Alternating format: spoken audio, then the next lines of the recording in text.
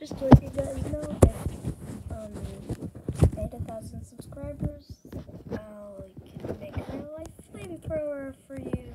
I, I know you kids I would probably like to see that. Sorry I'm not talking too loud.